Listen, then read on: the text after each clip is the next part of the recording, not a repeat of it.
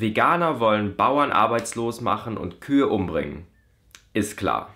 Hi Leute, hier ist Highcarb Christian. Wenn ihr schon länger vegan seid oder euch mit dem Thema befasst, dann habt ihr dieses Argument vermutlich schon irgendwann einmal gehört.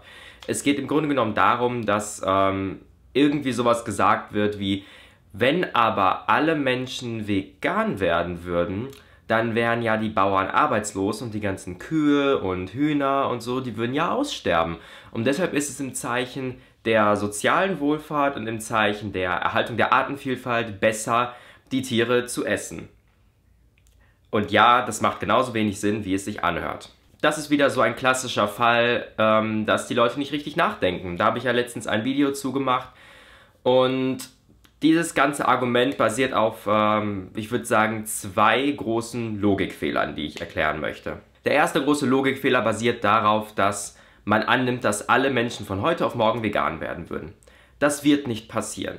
Selbst, das ist sogar hypothetisch nicht einmal möglich. Das, das wird nicht funktionieren, niemals, auf gar keinen Fall. Ähm, selbst bei einfacheren sozialen Umstellungen, wie zum Beispiel, ich weiß nicht, dass Frauen wählen dürfen, dass Frauen Auto fahren dürfen, dass wir ähm, dunkelhäutige Mitmenschen nicht mehr verprügeln und so. Selbst damit tun wir uns als Menschheit ja allgemein irgendwie schwer und haben das auch nach hunderten von Jahren immer noch nicht hinbekommen, das äh, auf der ganzen Welt durchzusetzen. Ich glaube, das wird mit Veganismus nicht schneller gehen.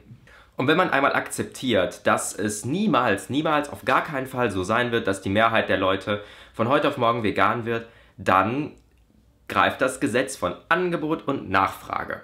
Wir leben in einem kapitalistischen Wirtschaftssystem, auch wenn man es nicht mag, es ist aber so. Und das kapitalistische Wirtschaftssystem basiert im Wesentlichen auf Angebot und Nachfrage, auf einer gegenseitigen von Anpassung von Angebot und Nachfrage, woraus dann die optimale Produktionsmenge und letzten Endes auch der Preis entsteht. Wenn ihr euch das also vorstellt, man kann sich das als zwei Graden vorstellen, ein, eine Angebotsgrade und eine Nachfragegrade. Wenn die Nachfrage sinkt, sinkt auch das Angebot, weil es keinen Sinn macht, etwas zu produzieren, was nicht nachgefragt wird.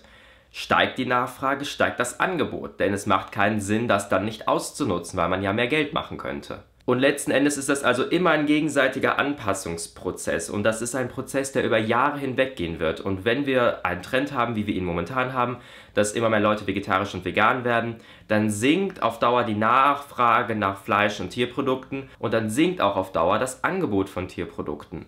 Und das ist ein Anpassungsprozess, der jahrelang dauert. Das gibt den Bauern genügend Zeit, entweder ihre Produktion umzustellen oder das gibt ähm, gesamtwirtschaftlich gesehen Zeit, dass äh, Bauern einfach quasi wegsterben und ihre Höhe, Höfe aufgeben, also nicht wegsterben, weil sie jetzt verhungern, sondern weil sie alt sind und dann ihre Höfe damit aufgeben, wodurch dann das Problem gelöst ist.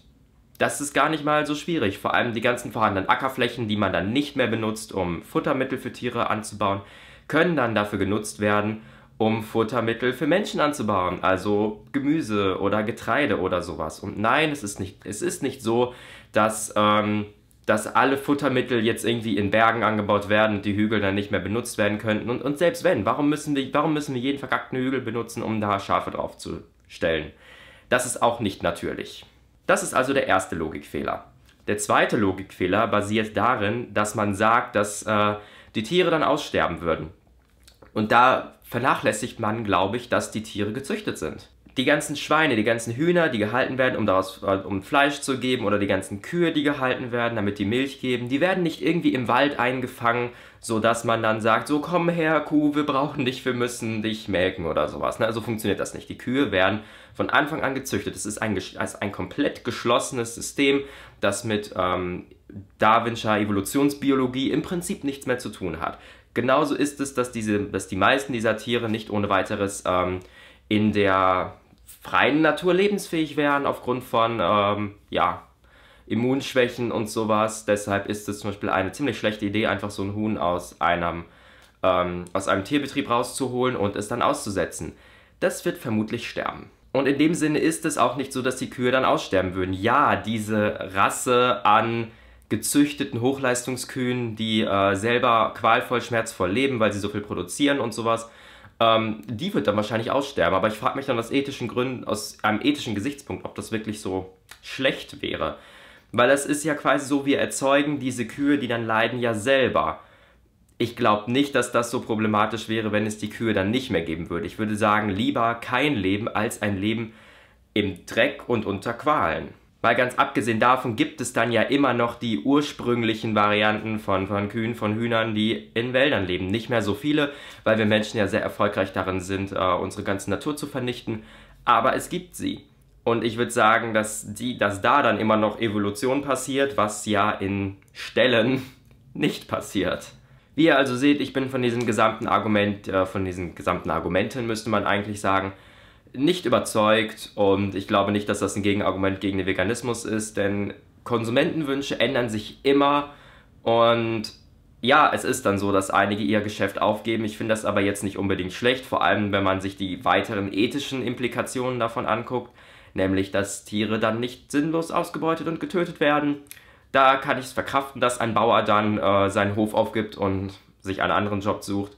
Mal abgesehen davon ist es ja nicht jetzt so, als ob die Bauern davon gut leben könnten, also bei dem heutigen Milchpreis und sowas, ne?